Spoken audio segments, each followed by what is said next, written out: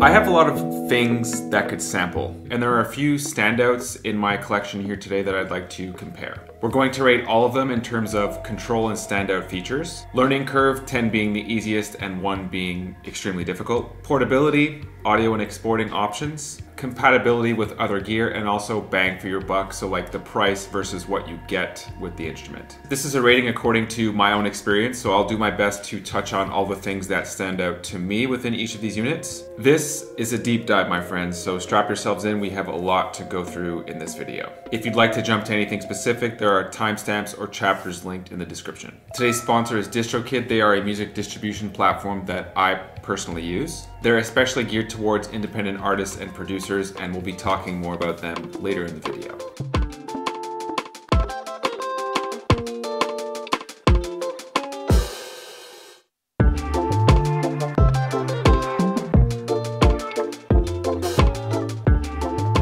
So let's just dive right into it, starting with the MPC. This is definitely my most beastly sampler. It's basically a DAW in a box. In terms of control and standout features, sweet baby Jesus.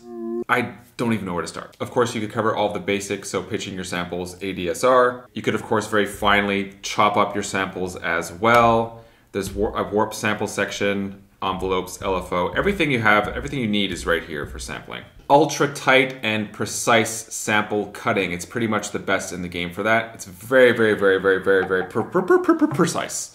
Very juicy and smooth knobs. I would say that the feel of this instrument in general is the best by far in this comparison. So if you're like a touchy-feely sort of producer, these pads are really, really juicy. You of course have a nice descriptive screen right here, more descriptive than any other instruments in this comparison as well. For some people, this makes a big difference. Some people don't really like a descriptive screen because maybe it reminds them of a computer. They might be get, trying to get away from that. It's common knowledge there's nothing quite as powerful as a DAW at this point, but the MPC one or you know the other MPCs as well, it's about as close as you're going to get to that. But the advantage, of course, is that it's standalone. You have a very touchy-feely surface, all just in one box. You've got your grid here where you could enter in notes if you'd like. You could erase notes. You could select several notes at once, zoom in and out of the grid. The idea is to create or use a pre-programmed kit or drum program which you could enter into sequences and the sequences are broken down into tracks. And several sequences make up a song. Of course, there is a song mode as well where you could sequence different patterns. In terms of a kit or drum program, it's basically whatever you have loaded on these pads. So this is actually a pre-programmed kit that I'm not crazy about. I'm gonna assign samples, browse, and I'm gonna search, let's say, house. I want a house kit. Do it. So these are examples of kits that you could use. I like this one, load. Give that a second, and I'm gonna scroll down to that. And there's that kit. Each of these pads is broken down into its own track, so I could even go into that, select a specific pad, and from there I could add plugins onto each of these pads, up to four. You could of course use your own samples. I would actually encourage you to use your own samples, but for this example, we're just gonna use this stock pattern. I'm just gonna perform something and I'm gonna give it a shot. Two, three, eh. So that's been auto quantized. I'm going to enter something in over top of that.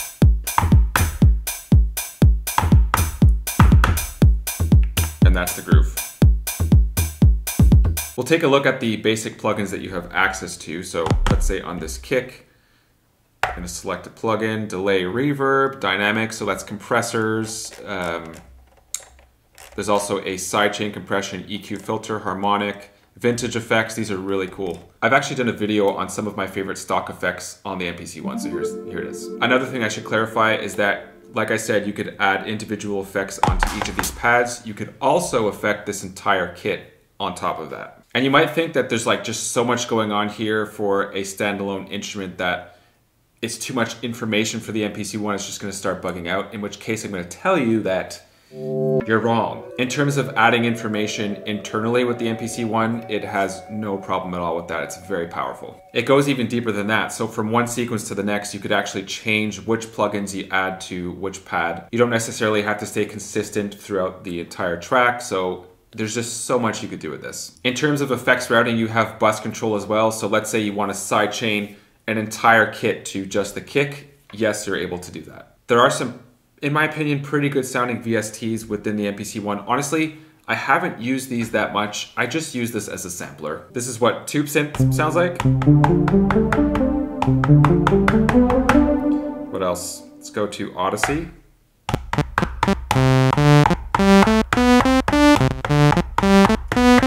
Right, so it's it's a lot like a DAW. There's like software instruments built into the unit. As I mentioned earlier, you could build a full-on song with the MPC One. You could also effects that song in real time. There's a performance effects page called XY here. So we're off to a really strong start here. In terms of control and standout features, in comparison to the rest of my collection, I'm gonna give the MPC One a strong 10 on 10. In my personal experience, I thought that the learning curve of the MPC One was pretty quick, mostly because the screen is just so descriptive. There's a lot of information out there as well on YouTube. I would like to clarify though that I've been a DAW user for like 10 years now, so I had a pretty strong understanding of how a DAW works. So if you don't have that sort of background, I could imagine the MPC one actually being like the most difficult one on this list. So if you already have a clear understanding of things like effects buses, adding plugins, tracks, sequences, patterns, things like that. Because in terms of like DAWless production, even though some people might not even consider this DAWless because it's so similar to a DAW, this is as deep and complex as you can get. So based on my experience, I'm gonna give this a 7.7 on 10 in terms of the learning curve. Compatibility. So I actually did a video on this exact topic specifically with the MPC One. Here it is if you'd like to get deeper into it.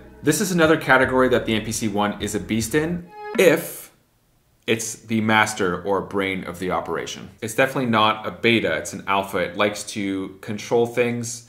It does receive MIDI information on a very basic level. In my experience though, once you try to control it, especially with MIDI information, it bugs out immediately. And I'd like to clarify that this is after update 2.11, which is the latest update Update 2.10 was actually more compatible in terms of being controlled by other instruments than 2.11. So it, they actually took a step back with the new update. And to be honest, this definitely rubbed me the wrong way because let's say, for example, you're on version 2.10, you've prepared a specific set where you're controlling the MPC-1, everything works great, and then you update to 2.11 and things just start bugging out. Like that would be infuriating. More specifically, my experience was that when I bus tracks together and then tried to control effects on those buses from an external MIDI controller, it just wasn't having it at all. It was basically bugging out on me on every turn, so I asked some local friends, and the consensus was that MPC in general is great for a studio instrument, but once you bring it into the live world and you push it a little bit, it's gonna bug out. So in that case, it's not super reliable. So because of these letdowns that I've experienced personally, I'm gonna have to give this a 4.5 on 10 in terms of compatibility. But as I mentioned, if you're using it as the brain of the operation to control other instruments, then I guess you'd give it a much higher score. The MPC One has great audio exporting options. You could export individual pads from each drum program or like just the entire program onto a hard drive. So this is this is great. The one thing I'm going to say is that composing within the MPC or anywhere, it, it could get a little bit messy. And unless your programs and sequences are like consistently numbered throughout the song, you'll have to export one sequence at a time and not the entire song at once, which is definitely more time consuming. In my experience, at least with the MPC one, it does get a bit confused if your tracks, programs, and sequences aren't consistently numbered. So, for example, let's say in sequence one, you have a bass on track one, and then in sequence two, it happens to be on track two for whatever reason within your process. That's what confuses the MPC one, and it'll print the wrong instrument onto a given track. So, just something to be aware of. So there's that little hiccup. Hopefully they fix that with an update. I'm gonna give this a 7.5 in terms of audio exporting options. Portability, it's small, it's great. If you have this perfectly sized case from Analog Cases, this is the one that I use for it. It's very sexy inside as well. Always recommend analog cases for uh, all of my electronic instruments. This is one of Akai's most portable units, if not the most portable. I know that the uh, the live is battery powered, so that I guess that's a bit more portable, although it's it's a bigger model. So I guess that's the only thing that it's not battery powered. Honestly, I don't mind that because batteries, you know, unless they're rechargeable, are just so bad for the environment. Personally, when I want to go outside to jam, I use the Jackery, what's it called? Jackery Explorer 300, which is great. It's rechargeable. I've been using it for like a year. It's super powerful. Gonna give this an 8.78 on 10 for portability. I think that compared to the competition, the MPC One is very well priced for what it can do. They also just keep dropping updates on it, which definitely increases the value of the instrument as time goes on. It's built well, it's durable, pads do feel amazing. I bought it about two, two and a half years ago at full price uh, as an experienced synth user. I'm super happy with it. We're gonna give it a 9.3 out of 10 for bang for your buck.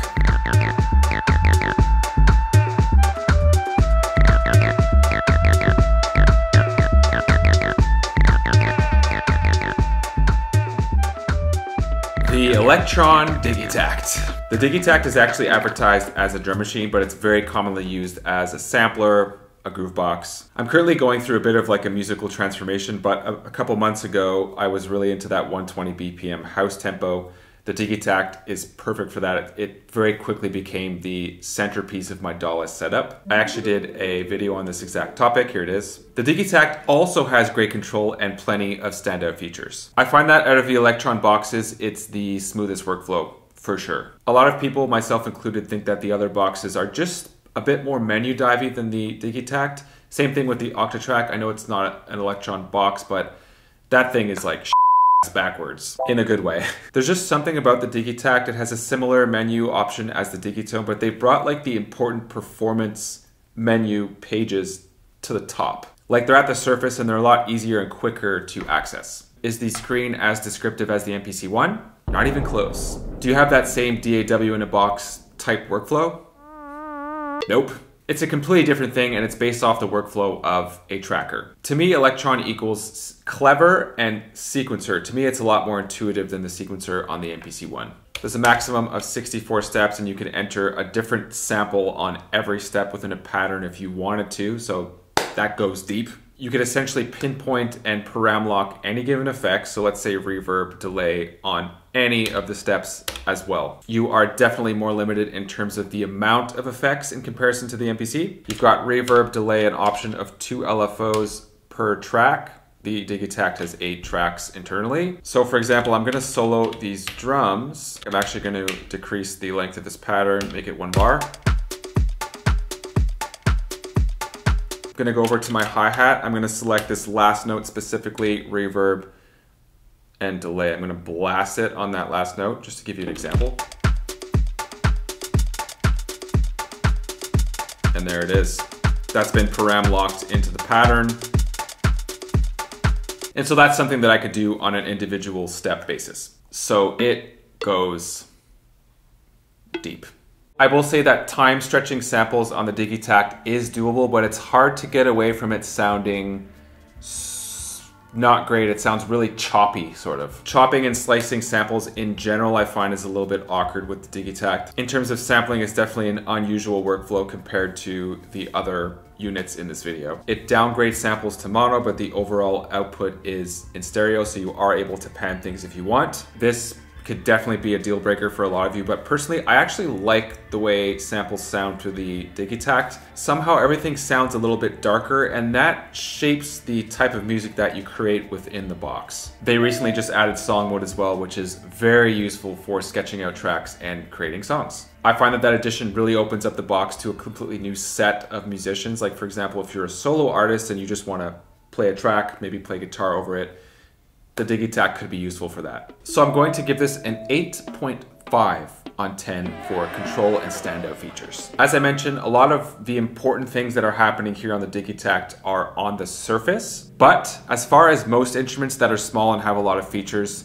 there's a lot packed into this thing. It's just something to get used to, but there's a lot of shift or function functions. So each of these buttons has like a dual function. And I mean the MPC is the same, but that screen is just much more descriptive. It's it's uh it's much more helpful in my opinion. The Elektron workflow is something to get used to for sure. Even the easier, more fluid boxes, I think it's it's uh it's a very quirky, like particular workflow. Just like the buttons, the, the menu, the, the font, there's just something about it that's not as straightforward as the MPC at first. It's a workflow that's exclusive to Elektron. All of their boxes have like a similar type of thing going on, but with little differences. to get you hooked. So if you're already familiar with that workflow, maybe you're coming from another Elektron instrument, then this will be a lot easier to catch on to. If not, it's something to get used to. You might have to have a few sessions before really catching on, but that could be said about most DAWless instruments. But I think that the payoff for that extra effort is really worth it. Once you're fluid with it, the Digitakt's dope. Gonna give it a 7.23 on 10 for learning curve. The Digitakt is so fluid. I've yet to discover a bug with it in terms of like syncing it to other instruments and that says a lot. I've run into a lot of problems with other instruments especially when it comes to syncing and MIDI. It could be the brain of the operation. It sends MIDI like a pro. It receives MIDI like a pro. Let's say if you want to control it with a MIDI controller. Similar to the other Elektron boxes, I've done the same thing with the Digitone, the Octatrack as well. They're killer for that sort of thing. So much like the Digitakt itself, anything that you run through the mixer has this nice, like buttery dark quality to it. The effects sound great. You could run two mono instruments or one stereo. You could pan those instruments as well. You have volume control. You can throw some effects onto these external audio sources coming into the mixer. The reverb sounds so good, so smooth. One of my favorite reverbs. The delay sounds great too. Haven't run into any issues. Haven't heard of anyone else running into any sort of issues in terms of compatibility. So like I said, hard 10 on 10. If you'd like to hear that sound, here's a performance that I did with the Digitakt using song mode actually.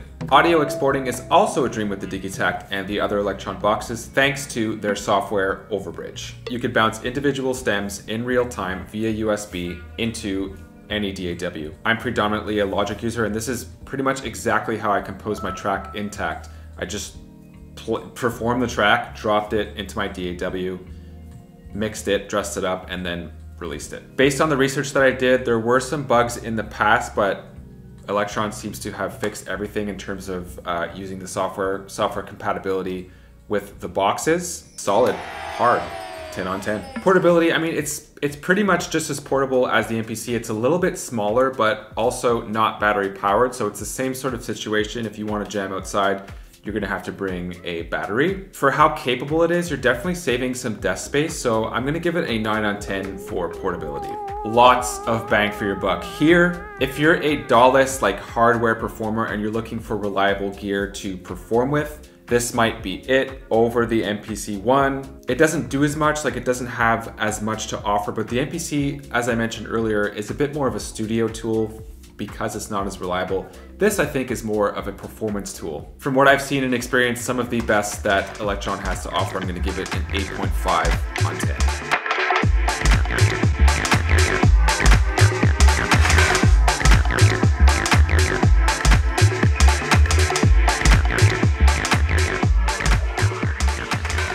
Not even to mention the OG404 here because it's pretty much obsolete to the MK2 at this point. The workflow of the OG404 is just way too clunky in my opinion. 4.1 on 10. But about the Mark II. I've actually already done a comparison between the 404 Mark II and the MPC-1, so if you're looking for a another dimension, here it is for you. The thing with the Mark II is that they're coming out fierce and fast with the updates. There's been, I think, four since it's been released uh, about a year and a half ago. That's a lot of updates. They added in a step sequencer, which is killer. It has a DJ mode, which no other unit in this video offers, and it's a pretty solid DJ mode as well. It's it's like it's not a gimmick. The pattern sequencer is also very solid. It could be used as like a song mode of sorts. Much like the tactile feel of the MPC one, you've got these pads which you could finger drum on if you'd like. I will say that they're not quite as strong as the MPC one pads. They're a bit glitchy.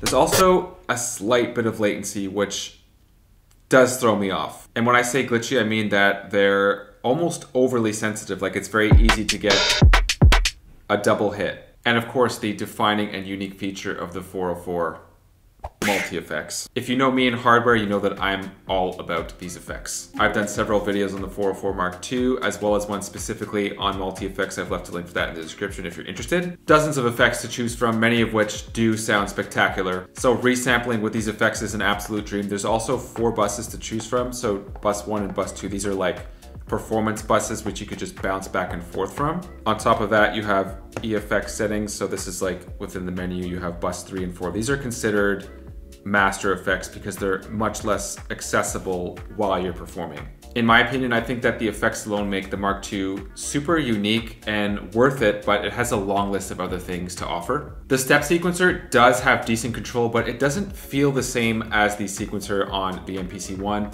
and especially on the Digitakt or any other Elektron sequencer. You don't have that same sort of like hands-onness with the Mark II's sequencer. The MPC definitely has a similar vibe to the Mark II and it just completely overshadows it in terms of what it has to offer, the amount of control that you have over your parts as we went through. On top of that, it's just the perfect size for tactile finger drumming stuff, whereas I find that these pads are slightly too compact. So it really depends on what you're trying to go for with the MPC. There's, there's less limits, but if you like those limits, you think they help you creatively, then maybe the Mark II is a good choice for you on top of everything else that it has to offer. I'm gonna give it an 8 on 10 in terms of standout features. Learning curve, there is so much going on in such a small space, especially with the new updates. They like, they stuff so much information into here. So for example, DJ mode, D and J, this opens up a completely new part of the instrument. Each of these pages has dual functions, fixed velocity, 16, you know, everything here, chromatic, exchange. You've got the pattern sequencer, which you could jump in and out of. These are my uh, current patterns course, you could enter into sample mode where, where you're pitching, speeding up, slowing down the sample, uh, the volume of each sample. Multi-effects here, which you're able to scroll through, not to mention that many of these effects have two pages of parameters. not to mention that there are five basic effects here on the surface as well, which you can control with these knobs. There's a lot to learn and it can definitely get confusing. At moments, it does feel like the instrument is like it's on top of itself. So just like anything else, it does take that extra time to get fluid and understand, but in particular with the Mark II, I think it'll take even a little bit more extra time in my opinion. But of course, don't worry, I have plenty of Mark II content for you to dissect. I'm gonna give the learning curve a 6 on 10, it takes some getting used to. Compatibility with other gear, it's been reliable for me so far. If you're fortunate enough to own a Mark II, run everything external through this box and affects it, you'll be glad that you did. In terms of MIDI compatibility, it's also great. So you're actually able to open up all of these bus effects as well as the master effects and blow up the controls onto a MIDI controller. That's very easy to do. In fact, I've left a video on how to do it in the description. this is something that would work great in DJ mode. So you just load up your tracks, play the tracks, and have access to all of your controls all at the same time. It's a really clever way to open up the instrument and have all of your effects in the same spot instead of having to menu dive from one effects to the next. One thing I find about the audio quality of the Mark II, I find that if you boost it past like 50%, the low end gets a little bit distorted. So of course, the workaround for that is to drop the volume and then raise the volume of whatever audio source uh, you need to, maybe a mixer or you know, an effects pedal, something like that. 8.76 on 10 for compatibility. Audio exporting compared to the competition, 4 on 10. Sorry, Roland. exporting projects onto your SD card and then dropping that project into another Mark II is an easy process. Bouncing or exporting audio to your DAW in terms of like separating tracks is not possible. Hopefully they'll maybe fix that with an update. Space and portability, it's the most portable in this comparison, so I'm gonna have to give that a 10 on 10. It takes batteries. I don't suggest that you use eight batteries to power this thing because you know, the environment. It's a bit more of a convenient shape. It takes up less desk space than the other units. And the amount that you could do within that space is just crazy. So 10 on 10. The value of this thing, I think since it's been released has gone up like crazy. They just keep dropping updates on it and big updates too. Is it as powerful as the MPC-1 or the Digitakt? In some ways it actually is in terms of the effects. It has DJ mode. Overall, I'm gonna have to say no, you just don't have the same control or precision as with the other units mentioned, but it's also quite a bit cheaper than the other units. Of course, it all depends on what you're looking for, and hopefully this video is helping you with that. I'm gonna give it a 9.5 on 10 for bang for your buck.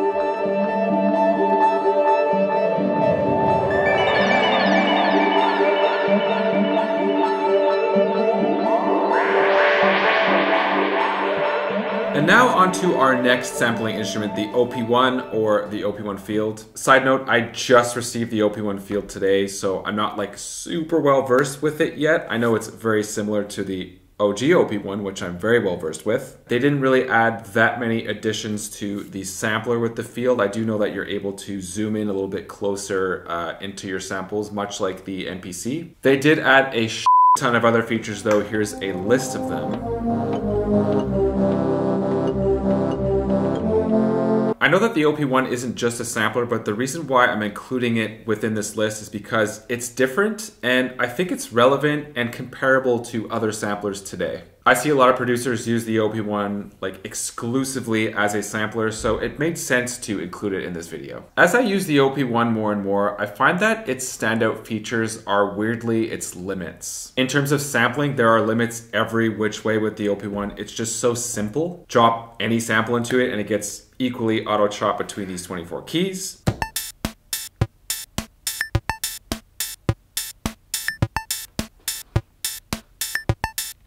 Not sure if you just noticed that, but the sampling time is now 24 seconds instead of 12, so that's a new addition. You could change the pitch of any of these keys, so I'm gonna choose the first one, pitch it down, make it a longer sample. Let's just take the whole groove.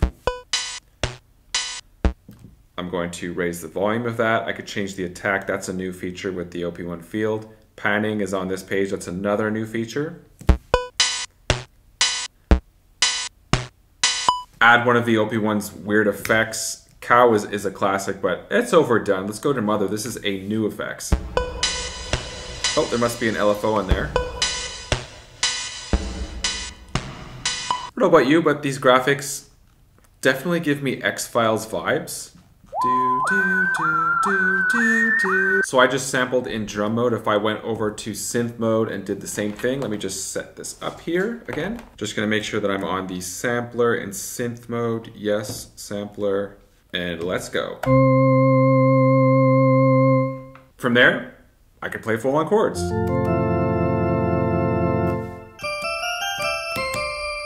I could, of course, add effects to this sample as well. Shift 3, Mother again.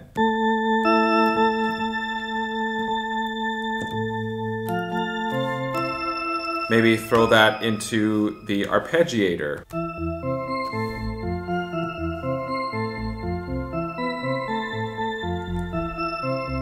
And just like that, we have maybe the starting point of an idea. It's a very spontaneous instrument. You tend to come up with things quickly, and oftentimes they're fun, good ideas. In the context of this comparison, it's not comparable to, let's say, the MPC One or Digitakt to get from start to finish. But since I've owned the OG OP1, it's been like three years now, it's consistently been the freshest idea starter. It's that ease of use that's so simple and streamlined, and weirdly, it's not a workflow that's been copied from any other company or instrument. Like, I can't really even think of anything that's even close. It's just not the same, in my opinion. In terms of the actual features of the sampler, that's about it. So, like, why even mention it? Well, the fact that the OP1 has a built-in keyboard within the sampler also changes the sampling experience. Then obviously the other attractions of the OP1 are that it does it all. It's a pretty heavy digital synthesizer. It's sort of shaped the sound of a lot of music over the past decade. But in terms of the sampler, which is the point of this video, it's so bare bones that we can't really give it the same score as the other samplers. It's just so simple. Maybe that's what you're looking for. We're gonna give it a 6.5 on 10. A lot of people might disagree with me on this next point. I find that because of the simplicity, especially of the sampler of the OP1, it's very straightforward, it's easy to use. I find that the learning curve of the sampler specifically is pretty quick. It's the weight of all the other elements of the OP1 that make it a bit more difficult to learn. It seems to be the type of instrument that you either click with or you don't. Some people think it's really easy to learn, other people don't. It really depends on your background. In terms of the learning curve of the sampler, 9.22 out of 10 compatibility with other gear, they've made some pretty major improvements here, especially compared to the OG OP1. It's still not as fluid and compatible as, let's say, Elektron gear. Because this is such a new unit, they released it less than a year ago, just make it easy. Just make everything easy. Make MIDI compatibility easy. TE is notoriously difficult, buggy, and kind of exclusive when it comes to compatibility with other instruments. As I mentioned, I just received the field today, as in like filming this video today, so I don't really feel comfortable giving this uh, a score yet. I will say that with the OP1, 3.1 on 10 because the compatibility is terrible. Undecided score for the OP1 field. Audio exporting options on the OG OP1 are dated. But with the field, you're able to record directly from USB into your computer, so it's a similar sort of process as Elektron with Overbridge. Portability with the OP1 is an obvious 10 on 10. It's battery powered, rechargeable battery, so you don't have to plug batteries into here. It's tiny. Can fit this thing anywhere, barely takes up any desk space. 10 on 10. In light of them raising the price on us from the OG OP1 to the OP1 Field, it is a much stronger unit, but it is so expensive. I can't justify giving it a high score in this department. A company like, let's say Roland comes out with the SP404 Mark II, it's not too much more expensive than the, the OG. I guess TE isn't quite as generous, let's say. I mean, no no judgment, but uh, this this is a rating video, so I gotta give it a score. 2.8 on 10. There are a few other notable mentions in my collection, but before we get to that, let's talk about today's sponsor, DistroKid. Here are three reasons why I chose DistroKid over other music distributors. One, they're on the cutting edge of new social media and music promotion features. They're the pioneers in that sense because their platform is made specifically for independent artists and producers who depend on those sorts of tools to promote their music. Two, the amount of stores that DistroKid uploads to is insane, and they also keep track of smaller or up and coming stores uh, that you might not even know exist. A perfect example of this is how Spotify is actually not my biggest streaming earner. It's KKBox, which is a platform that doesn't even exist in North America, or at least it's not accessible here. So I had no idea about this platform, DistroKid took care of this for me and now they're my biggest earners. Three, banking info and withdrawal is super easy to set up. DistroKid delivers 100% of your streaming earnings to you. They don't take any cut. Independent artists and producers, you know what to do. Let's get back to the video.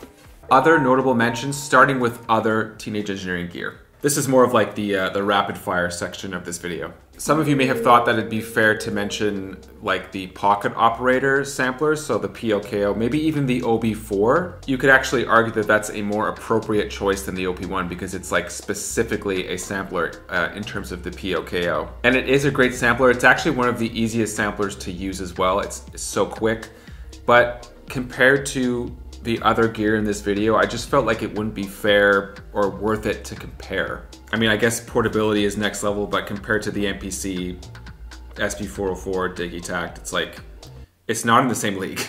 As for the OPZ, it's better priced than the OP1. It also has a sampler, but for whatever reason, I don't really see it being used that much as a sampler. I find that the OPZ in general has kind of gone under the radar. I've had it for over four years now, and I never really use a sampler. Maybe it's because it doesn't have uh, a screen, like an internal screen within the OPZ. The Octatrack is obviously worth a mention as well in this case. The reason why I'm not doing more of a deep dive on this one is because I still have a lot to learn with it. Effects and mixing capabilities are some of the strongest in this comparison. In terms of effects, I would say that it's in the same level as the SP404 Mark II, although you could even customize your effects even more. So this essentially allows you to construct your own builds and drops. So that's that's a really cool element of the instrument. I would suggest hitting up EasyBot. He has some really interesting and in-depth videos on the Octatrack. I would say some of the best out there. In terms of arranging and piecing together a set, again, a very, very powerful tool if it's paired together with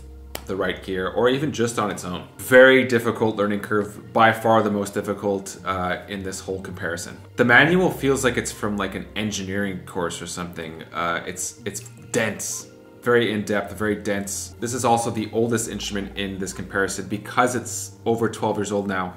It's a little bit backwards compared to uh, the, you know groove boxes and samplers of today. In pretty much every Octatrack tutorial that I've watched, the person reviewing is like, this is what it could do, but this little part, I don't know what that does, so we're not going to cover that in this video.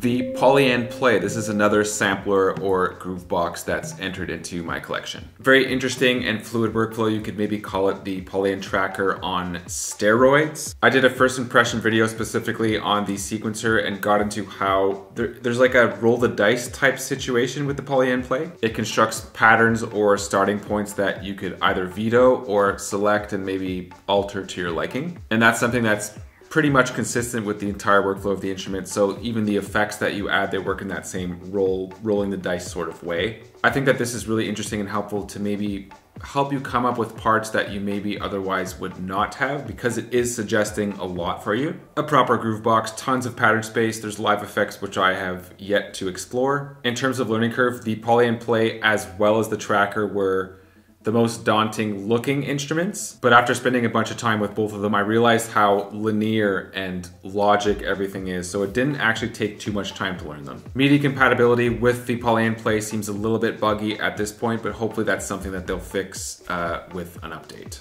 And that pretty much sums it up. This is a, a deep dive. So if you guys have any questions, let all of us know in the comments. There are affiliate links to all the instruments mentioned in this video, so there's gonna be a lot of them. If you end up using those links, I make a small commission from that sale at no extra charge to yourself. One of the best ways of supporting what I do, like, subscribe.